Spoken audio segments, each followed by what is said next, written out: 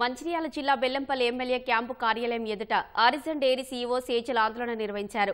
గత కొన్ని నెలలుగా ఢిల్లీ హైదరాబాద్లో ఆందోళన చేస్తున్న షేజల్ బెల్లంపల్లికి చేరుకున్న నిరసన వ్యక్తం చేశారు. హైదరాబాద్ నుంచి ఇవాళ రైల్లో చేరుకున్న ఆమె నేరుగా క్యాంపు కార్యాలయం ఎదుట బైఠాయించి నిరసన చేపట్టారు. అమ్మాయిలకు అన్యాయం జరుగుతుంటే పోలీసులు ఎమ్మెల్యేలకు ఎలా మద్దతు పలుకుతారని ఆమె ఆవేదన వ్యక్తం చేశారు.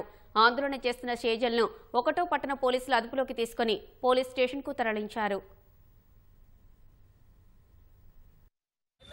ఎమ్మెల్యే చిన్నయ్య ఇలా లైంగిక ఆరోపణలు ఇలా నా మీద కావాలని చేస్తున్నారు అది ఇది అని చెప్పేసి చెప్తున్నాడు. కావాలని ఏ అమ్మాయి ఆయన మీద చెయ్యరు.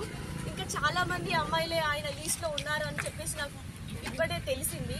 అయితే ఎప్పుడు చూసినా మీడియా వాళ్ళు కానీ వీళ్ళందరూ